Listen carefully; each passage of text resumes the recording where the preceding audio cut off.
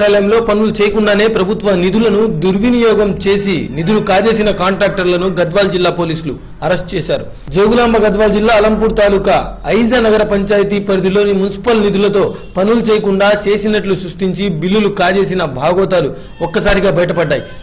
లక్షల రూపాయలు కాంట్రాక్టర్లు కాజేసినట్లు పోలీసుల విచారణలో వెల్లడైంది. కాంట్రాక్టర్ల వెనుక ఉన్న పెద్దలెవరో తేల్చే పనిలో పోలీసులు నిమగ్నమయ్యారు. అందులో భాగంగా ముందస్తుగా నలుగురు కాంట్రాక్టర్లను అరెస్ట్ చేసినట్లు గద్వాల్ డీఎస్పీ బాలకోటి తెలిపారు. మన ఐజా మున్సిపాలిటీలో గత సంవత్సరం నుంచి ఏప్రిల్ టూ థౌజండ్ ఫిఫ్టీన్ నుంచి మార్చ్ టూ థౌజండ్ సిక్స్టీన్ వరకు ఒక నాలుగు వర్కులు దగ్గర ఎనభై లక్షల వరకు ఎనభై లక్షల తొంభై తొమ్మిది వేల వరకు జరిగినట్టు మొత్తం బిల్ ఎత్తుకున్నారు.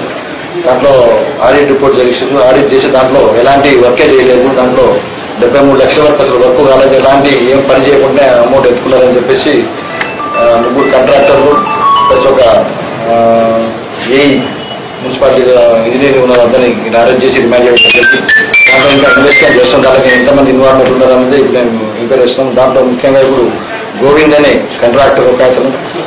ఖాజా హుషేన్ కూడా కాంట్రాక్టర్ ఖాజా హుషేన్ ఏఈ వెంకట సుబ్బారెడ్డి ఈయన ఈయన కాంట్రాక్టర్ వెంకటరామ్ కూడా కాంట్రాక్టర్లు వీళ్ళని వరకు అదుపులో తీసుకుని అరెస్ట్ చేసి వీళ్ళ పూట పొడి చేయడం జరుగుతుంది. వీళ్ళ ద్వారా దానికి ఎంతమంది దాన్ని వర్క్ చేశారు ఎంతమంది సాయం చేశారు ఇంత అమౌంట్ ఎవరికి ఇచ్చారు దాంట్లో ఎంతమంది ఇన్వాల్వ్మెంట్ ఉన్నది ఇంకా డీటెయిల్గా ఎంక్వైరీ చేసి వీళ్ళందరి మీద కేసు రిజిస్టర్ చేసి వాళ్ళ పొడి చేయడం జరుగుతుంది. ఇంత వీళ్ళ మిచప్ ఆపరేషన్ ప్లస్ చీటింగ్ కేసు మీద బుక్ చేసి మనం రిమాండ్ చేస్తాం. ఇన్వాల్వ్ ఉండరని ఇప్పుడు వరకు కాంట్రాక్టర్లు అఫీషియల్ ద్వారా ఎంక్వైరీ చేయడం జరిగింది వాళ్ళని.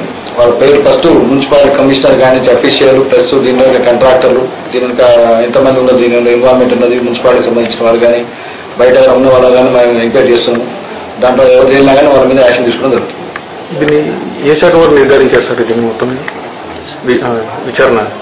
ఎవరు చేశారు మొత్తం టోటల్ ఇది ఇన్వెస్టిగేషన్ దీని first audit one year audit కోసం వచ్చారు. ఆడిట్ రిపోర్ట్ దాని ప్రకారం చూస్తే ఆడిట్లో చాలా ఫాల్ట్ ఉంది తేలింది తర్వాత కలెక్టర్ గారికి రిపోర్ట్ ఇచ్చారు. కలెక్టర్ గారి ద్వారా మా ఎస్పీ గారికి ఇచ్చారు.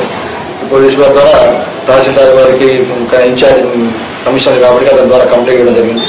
కంప్లైంట్ కేసు రిజిస్టర్ చేసుకొని గత వారం నుంచి మేము ఇన్వెస్టిగేషన్ చేస్తే ఇంతమంది ఇలా అరెస్ట్ చేయడం జరిగింది. ఇంకా చాలా మంది ఇన్వాల్వ్ ఉన్నారు తెలుస్తుంది అని కూడా వాళ్ళని కూడా ఎంక్వైరీ చేసి వాళ్ళని కూడా అరెస్ట్ చేయడం జరుగుతుంది.